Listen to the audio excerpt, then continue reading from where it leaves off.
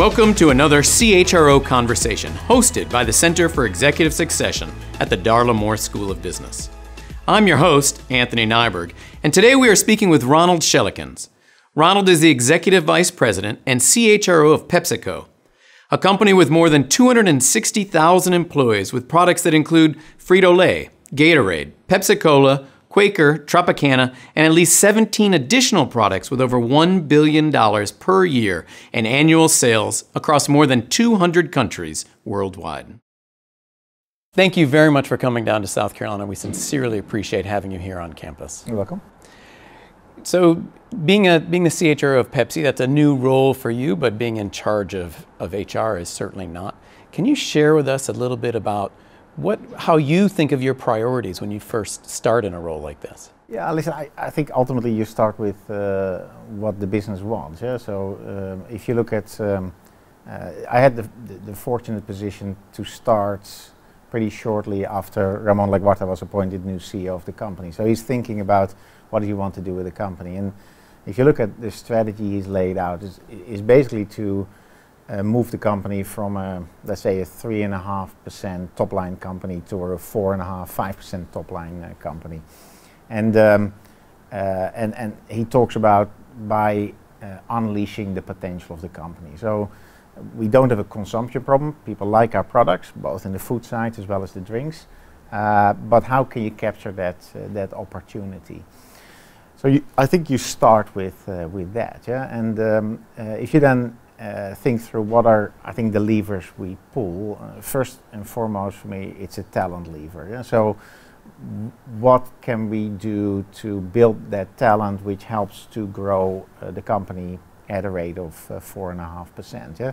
So, where, uh, what type of talent do we need uh, in what pockets? Now, for example, a big chunk of that growth will come from international.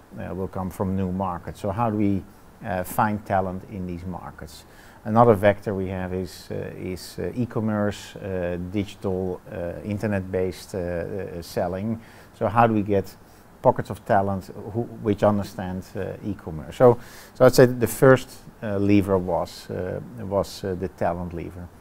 Uh, the second, and they're a little bit associated, is, is, is capability. So we're really uh, looking at what new, what new capabilities do we need.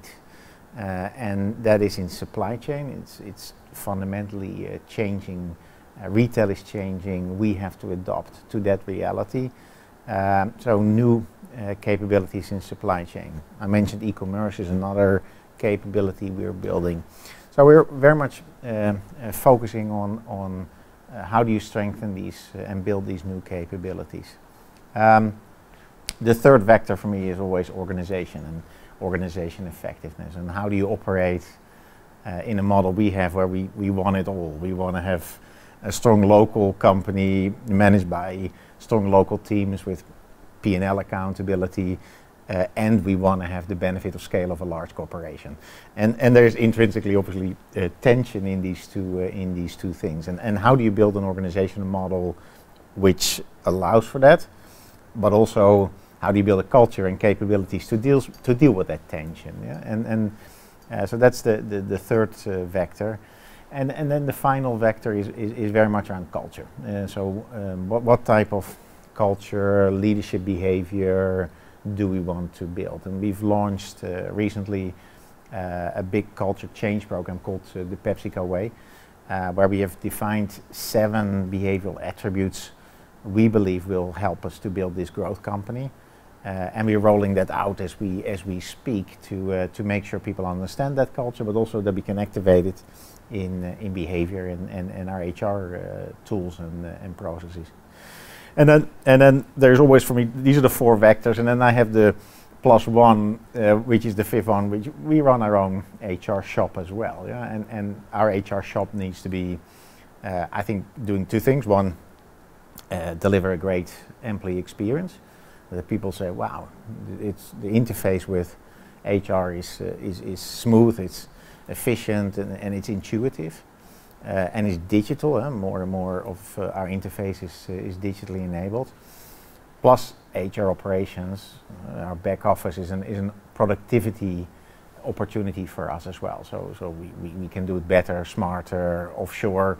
So I, we run an HR shop as well. So four plus one priorities uh, I'm, uh, I'm focusing on with my team. Yeah? So I'd like to uh, pull each of those apart just a little bit.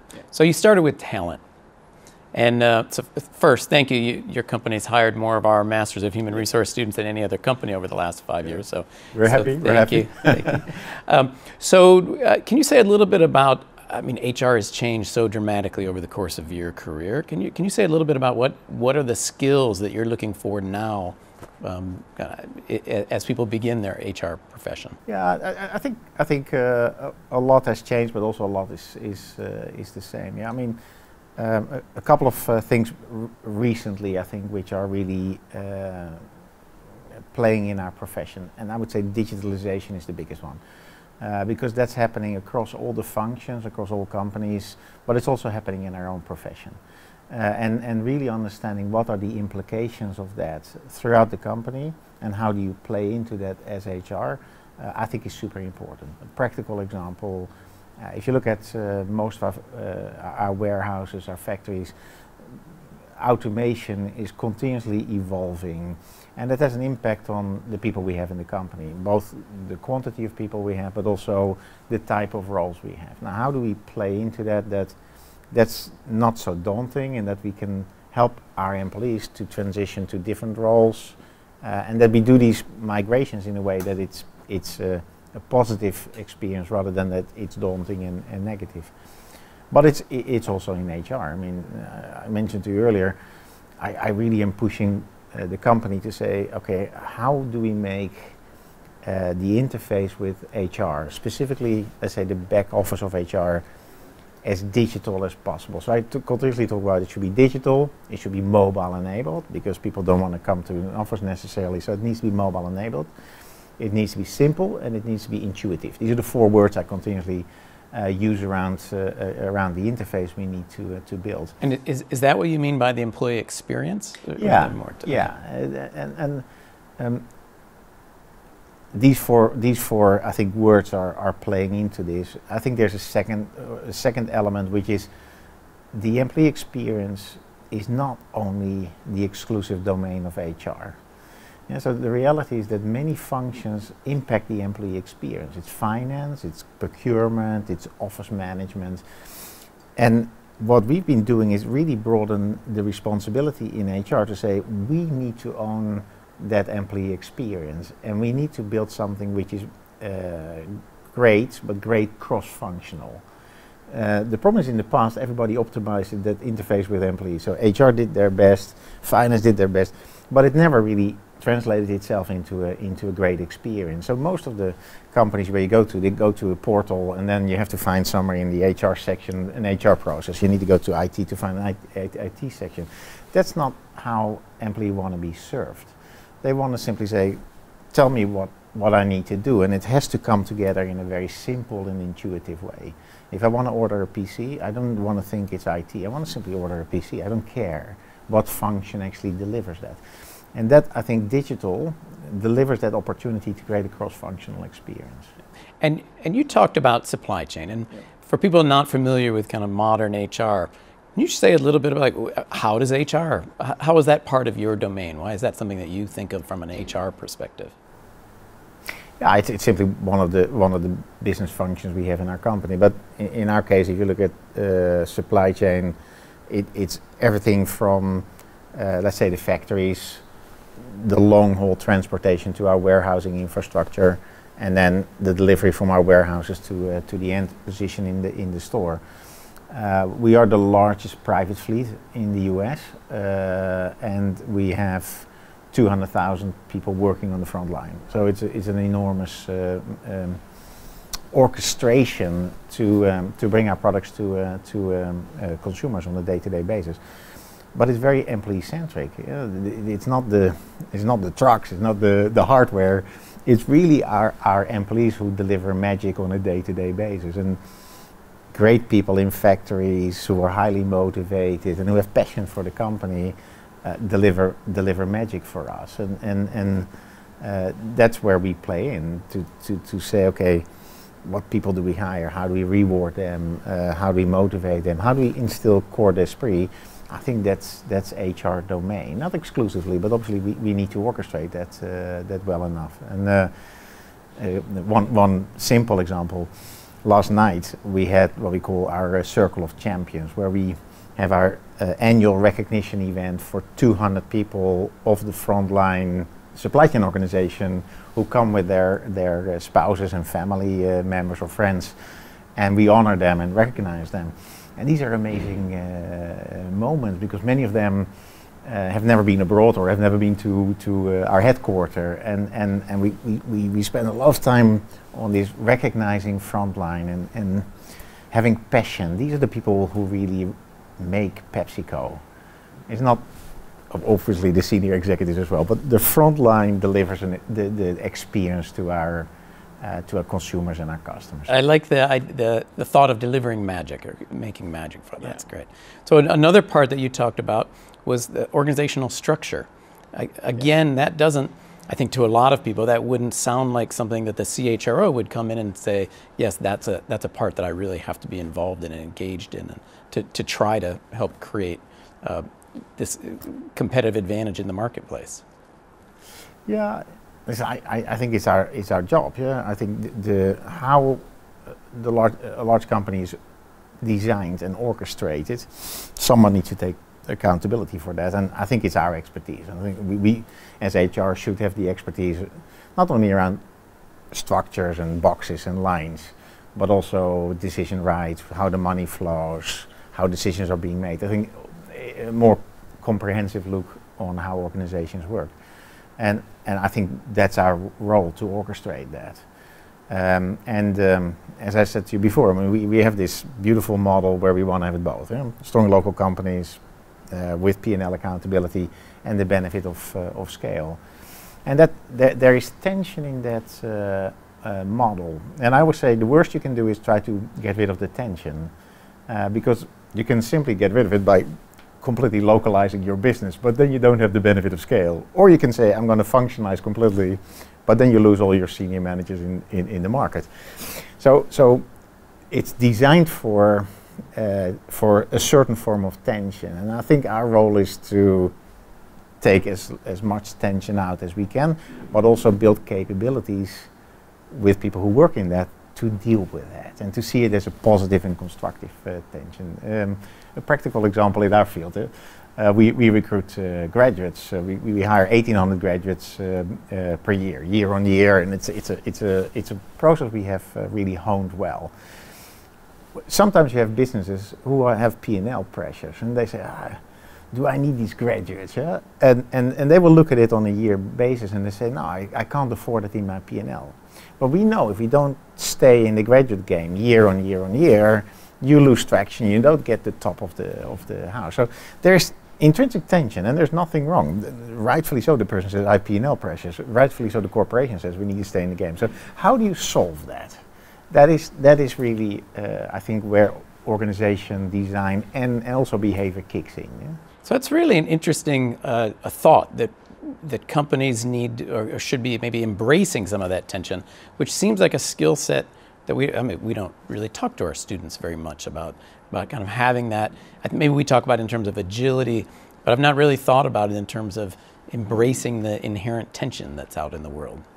Yeah, but I, I think, I think there's sometimes a little bit of naivety, both in organizations as well as in the outside world, that the design is is set up to deliver that tension, uh, and and because you want to have it both. Yeah? And if you want to have it both, there is tension in that, uh, in that model. And, and, once again, I think clearly there, there are little tensions we can remove around sometimes unclarity, around decision making, rights, uh, budgets. So we try to keep it as, as clean and simple as possible. But the tension is there. And the rest needs to be resolved by um, managerial skills. Now, one of the, the ways we're trying to solve that as well is move people around the businesses and headquarter versus uh, local businesses. The issue is if, if, you've always worked in a market, yeah, you always believe that everything which comes from headquarters is, is what do these people do, yeah, uh, and when you move someone to headquarters, you suddenly realize, hey, these are good people. They're doing meaningful jobs, and I understand their perspective now. You need to move people around as a way to deal with that tension. Understand what other people do in the company, and and and therefore create appreciation uh, that everybody is doing a meaningful job. Yeah? It sounds like a, a, brilliant way to take something that normally we would hear tension as a, as a negative and turn it into a, a positive way for competing in the marketplace. So the, the other, and maybe this is related to it, but the, the last one you talked about was culture. Mm-hmm. And it seems like companies are spending a little more time these days on thinking about com- culture, including boards of directors. And yeah. in addition to embracing that tension as part of the, the culture, is there is there something else that you think of that HR should be doing to drive that, to drive a culture that leads towards winning in the marketplace? I think it's a big, a big accountability item in my opinion for HR, and it starts with, um, it with making a decision: is your culture one culture, or is your culture multiple cultures? And, and you have a choice point there. I wouldn't say that one is right or wrong, but uh, take the PepsiCo way. We, we had a tradition that local market units uh, built their own culture. So you came in as a CEO and you launched your own culture program. Uh, now the, the problem back to uh, the organization model is that you're not working exclusively in a market anymore with all the people around you being part of that market unit. So you have people who are working in vertical organizations who sit embedded in your country but they don't necessarily work for you directly as a market unit. If everybody starts building their culture, it becomes obviously very confusing. So we really decided to move from this local uh, culture model to one culture model for uh, for uh, PepsiCo, and we've articulated uh, seven uh, attributes which we believe are are winning to deliver up upon high growth. But it's quite tough because then you have to say to uh, the market unit managers and the business unit managers, you're not allowed anymore to make your local culture descriptor. Yeah? You have to, we only will have one culture. And that's kind of a big uh, breakage with tradition and how we uh, ran the company in the past. Um, now we, we, we, we did that, we went through that to say, no, we have one, we have one culture. But I think we were smart enough to say, okay, but how you activate that in your local market, we will not prescribe that. But the words are the same. So we have, for example, uh, consumer centric is one of the cultural attributes. It has to be consumer centric, it can't be something else. But how you activate consumer centric in the context of India, Germany, US might be completely different. So we allowed a lot of freedom to activate that uh, in, uh, in the local market. So I call it freedom within a framework. The framework the corporation sets, the activation is local. And I think that played well in our uh, company. So the activation has been amazing. Uh, in, in we've done that in the last seven months. The, the activation has been amazing, and I think the key was that uh, we were clear, no exceptions, but you figure out how you do it in your local context. And I think that there was magic in that, because uh, uh, it plays to the heart of a central, decentral company. Yeah? So you came in from the outside, although you had been at Pepsi at another time in your career. Yeah. Can you say a little bit about? Was it helpful to having to have been there in the past and come back? So it's, it's more of a broader question about your thoughts on what are often referred to as boomerang employees, right? Yeah. Those that have come back to an organization they left in the past. Yeah, yeah. No, I'm a, I'm a boomerang. I, I left uh, PepsiCo 15 years ago, having worked for PepsiCo nine years, uh, but predominantly in the in the Europe, Middle East, Africa region, and predominantly in the food side of the business rather than the beverage business. I think it's a little bit, uh, on balance, I think it helped rather than that it didn't help. But I think there are some watchouts uh, where you have to be um, quite um, um, conscious about. Um, a, the company is not the same versus when you left. Uh, and that's not only about the products they hold, we have many more products, we're in many more markets, but also the way of operating is a little bit different perhaps than uh, uh, you can remember. So uh, you have to be, I think, a little bit cautious. I, I was quite um, conscious as well that I had never worked in the US. Uh, so although I worked for American companies, I'd never physically lived and worked in the US. And we have an enormous business in the US for us. Yeah? So I, I treated really the, the getting to know the US as a it's a new company for me. I really have to understand how it works, the culture, the ways of working. Uh, whilst international, I felt a little bit more at ease, uh, also because of the other jobs I'd done, and uh, I think that's how I, I how I uh, treated that. Now, I, I, said in the beginning, listen, I'm going to treat this fully as a new experience, but your muscle memory of how it works in a company kicks in pretty quickly, actually. So after a couple of months, I left that a little bit behind me and and, and start doing stuff, making decisions. Some of it perhaps a little bit early uh, but but at certain moment you, you feel okay I, I, I feel comfortable yeah. but uh, the US still I'm learning I'm learning a lot about labor relations uh, union union contracts um, uh, a little bit culturally as well it's not it's sometimes very misleading because you speak English you think okay we understand each other.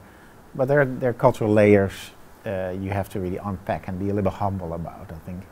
And so, and, and with thinking about as you joined, as you came back to PepsiCo, when you and you came in as an outsider, then kind of uh, uh, to join that executive leadership team, are there things that you need to keep in mind when you're joining that team, or uh, that are different or uh, unique about about helping trying to lead a, a, a, large organization? Yeah, listen, I think any company you come in, I think you you need to take a, a little bit of a humble position and, and learn uh, and, and be open and, and not, not, not try to impose too much.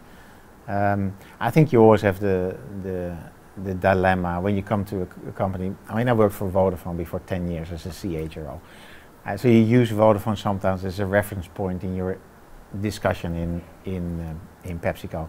That starts irritating people pretty quickly. Yeah, so, so because the last thing they want is that, that they that, that I come into Vodafone nice uh, PepsiCo. So you, so you need to.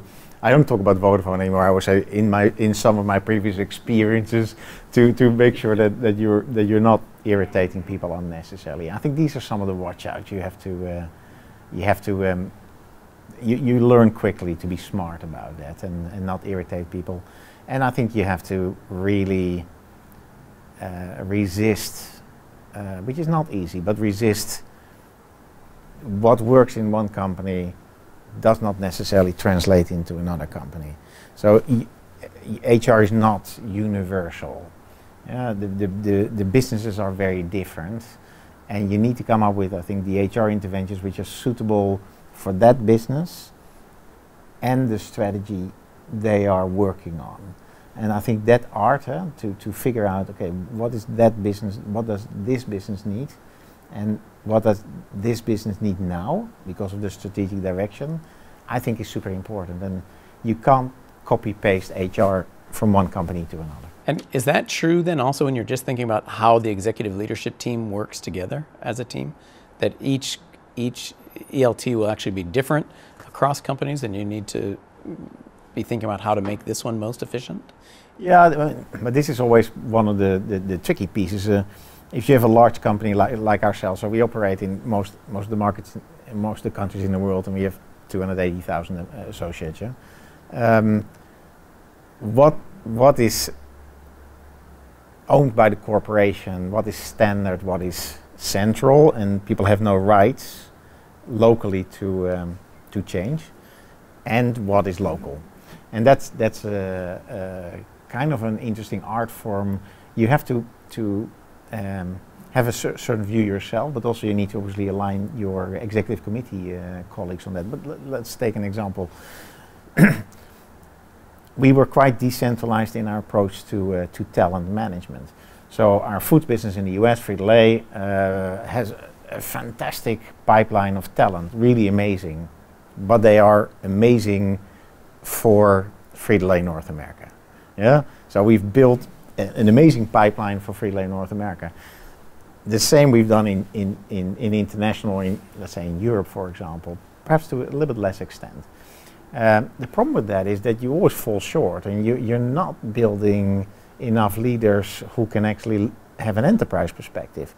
So what we've done is the ownership of the top 200 of the company is, is not a division ownership anymore. It's owned by the executive committee. So we arbitrate talent moves in the top of the house at an executive committee level, like you do capital, to say where where do we put our best talent against our biggest challenges.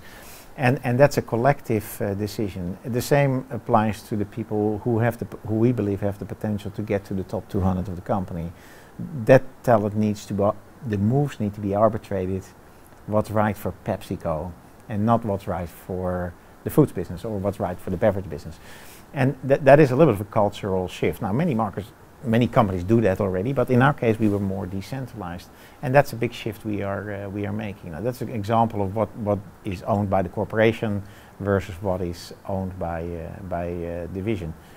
When it comes to, um, let's take the other side, when it comes to labor relations, I think we have a philosophical position around labor relations, but the execution of that is very local. It's not even necessarily at country level. It's very at site level in the way uh, in the way we uh, in, uh, do labor. Yeah, Philos philosophy clear, uh, but but the execution of that is a local execution. Yeah? So the the data is pretty clear that most CEOs come from inside the organization, something like close to seventy percent. Yeah. But for CHROs, it's almost opposite that, only about 30%.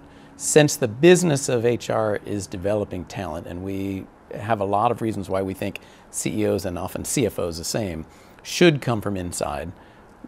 What's going on with HR? Why, why are we lagging in this area, if we are? I, I believe uh, strong companies tend to promote from within. I mean, forget HR for one second, but I think strong companies promote from within. We have a little bit of a philosophy where we say we try to be somewhere 70, 75% is promotion from within, but we also have to hire from the external world because we need to infuse new ideas, new thinking. So it can't be completely promotion from within. Um, the reality is that some roles are more transferable than others. So if you look at our company, uh, where our promotion from within philosophy is strongest, it's really in areas like supply chain, uh, because really we have a very unique uh, direct store delivery system where there are not that many companies we where we can, can uh, recruit from. Um, we're quite strong in promotion from within in the commercial side, marketing, really st building strategic capabilities. Some prof professions are more transferable, finance, legal, HR. Uh, and therefore, I think uh, people sometimes see uh, the, the opportunity of uh, um, hiring from outside. In my heart, uh, it's always a question um, what the CEO wants. Yeah, is HR were they happy with HR? Therefore, they want to see continuation, or they want to see a departure and do different things. Yeah. Um, and and that, that there, there there are pluses and minuses in there. Yeah, uh, I, I'm, I'm on balance. Uh, it sounds a little bit strange for someone who's been recruited from the outside world. I would prefer to promote from within and see continuity on HR than that I would bring in external people as a departure uh, from HR because I think ultimately the way you treat people, the way you build your people system should be actually more enduring beyond the, the change of a CEO or be beyond the change of a CHRO. Uh, and therefore, I think it, it's more logical to try to promote from uh, within. So I haven't really sounds hypocritical. No, no, no, no. It, it, has to. it has to happen sometimes, yeah. no matter what. Um, and I'm, I'm, by the way, I think in, in being rehired, I'm, I'm a hybrid. Yes, that's right. Uh, that's right. That's right.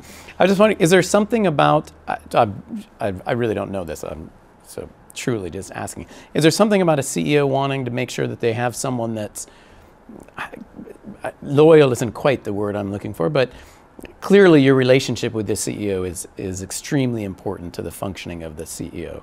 Um, yeah. So is, it, is there something to the CEO just wanting to make sure they have their own person that is maybe more loyal to the CEO or at least has that perception as opposed to across the whole uh, perhaps others in the organization? I'm not so sure if it's loyalty as it is. Um, um, a CEO is a, is a, is a very uh, lonely job, in my opinion, uh, because there's very few people you can talk to.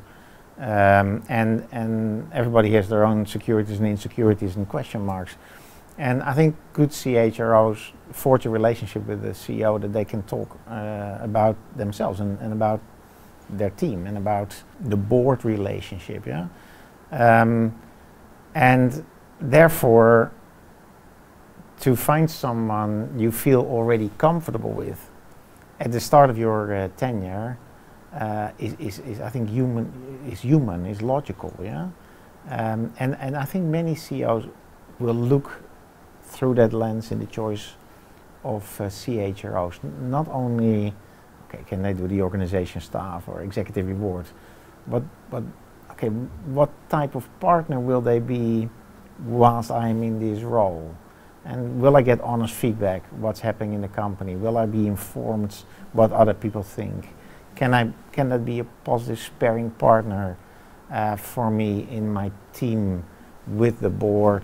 And I think that's sometimes what, what they're, they're looking for. Yeah? So it really is different than perhaps a CFO, where maybe the specific skills from the finance are, are maybe the most important driving force.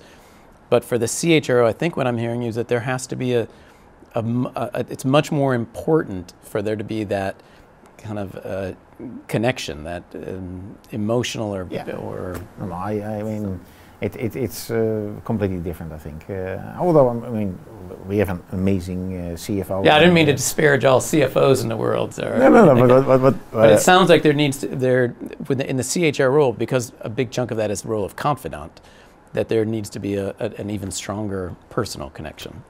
Yeah, I think if, if I look at CFO, but it's a little bit dangerous uh, territory for me. But I mean, if you're, I think ma many CEOs look at, okay, I want to make sure that the business decisions I make, I have a sparing partner in the CFO who creates a, a challenge board for me that, that, that, that it which creates confidence that the business decisions I make are really also delivering the financial results we need. And then obviously good financial housekeeping and, and, and low risk are, are part of that. But they have a different partnership. Uh, and sometimes they come together, yeah, because uh, I spent quite some. Our CFO is a very senior CFO, so you, you, you, you, he also has views on people, and, and, and we listen very carefully to him because he knows the company really well. Uh, so some, some have a different role again. Uh, but, but intrinsically, I think HR is different. We play a different, a different relationship with the, with the CEO, I believe. Yeah? Thank you very much for joining us today. Thank you for coming to campus and uh, for all you do for, for all of our, our graduates. All right. Thank you very much. Enjoyed it. You just listened to another CHRO conversation. Today, Ronald Schellekens of PepsiCo shared his views regarding the role of HR in driving business success. He also shared ideas for how HR can lead efforts to advance culture, as well as diversity, inclusion, and engagement, and how each can help advance company success while helping to improve customer experiences. On behalf of all of us who are associated with the Master of Human Resources program and the Center for Executive Succession here at the University of South Carolina, thank you for joining us.